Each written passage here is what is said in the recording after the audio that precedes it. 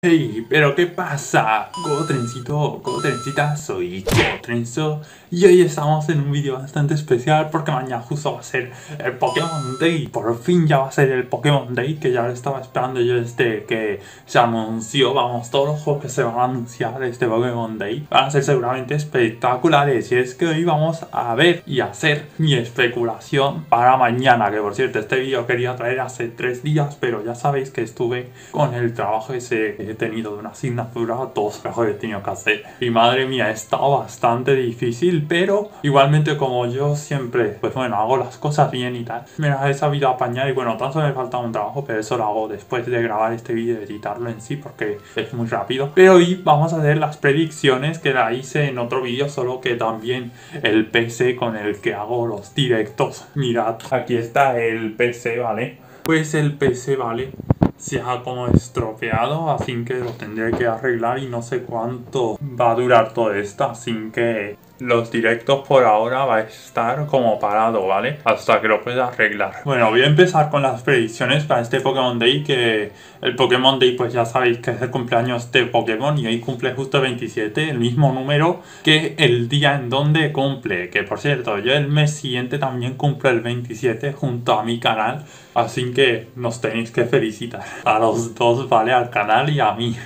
Para justo el 27 de marzo, pero el Pokémon Day, para quien no lo sepa en sí, pues siempre empieza de las mismas formas para mí, ¿vale? Así que vamos a ir en orden a lo que hacen, ¿vale? Y yo creo que primero van a soltar mañana eh, tres eventos, ¿vale? Uno para Pokémon Unite, como siempre, ¿vale? Que en el mes anterior recuerdo que le pusieron algo de Rayquaza, algo así. Pero bueno, yo creo que el primero para el Pokémon Unite, el segundo va a ser para el Café Remix, como siempre un juego que pocos conocen, es un estilo puzzle, pero que bueno, en este es muy diferente y muy original, creo. No sé, porque yo no sé si hay algún juego anterior a ese, eh, no solo parecido, sino con esa misma técnica que se la hayan copiado, no creo. Pero yo creo en sí que Pokémon Café Mix va a tener otro evento y a ver si es de Pokémon Escarlata y Púrpura. Después también otro evento que yo creo que va a salir es como siempre del Pokémon Go, siempre salen eventos, por favor.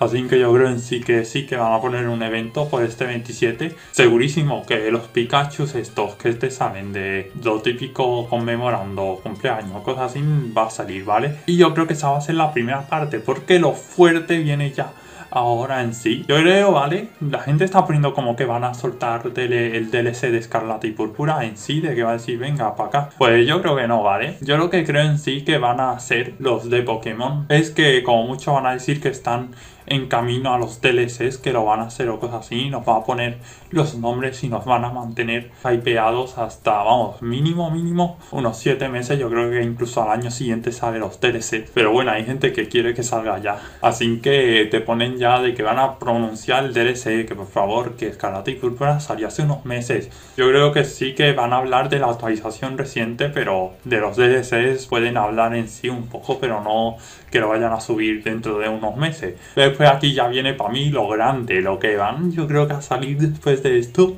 sí o sí, es la nueva historia seguramente de Pokémon Mundo Misterioso, que será un nuevo mundo misterioso, porque ya sabéis que hace mucho que no mandan una historia nueva, las últimas que mandaron fueron el Mega Mundo Misterioso, que creo que fue en 2016, y el último, último, último fue un remake del DX, ¿no? De Rescate Rojo y Azul de Game Boy Advance y Nintendo DS. Pues bueno, yo creo que aquí pues ellos harán una nueva, Unsoft creo que justo es la empresa que lo hacen, harán una nueva historia y ojalá yo ya quiero ver a los de Pokémon Espada y Escudo y también Soliluna ahí que sepan manejar esos nuevos Pokémon, por favor, que los pongan la gran mayoría hagan como el portal al infinito. Y también espero que tengan muy muy buena historia, ¿vale? Que cada vez yo no he jugado al Mega Mundo Misterioso, pero sí que yo he visto que de rescate rojo y azul hasta el al menos portal al infinito que fue en 2013, de 2003, por así decirlo, 2000 creo que a 2005, sí 2005-2006, de 2005-2006 hasta 2003 han hecho muy buenas historias, sin que mm, yo espero en este nuevo si lo hacen, una muy muy buena historia.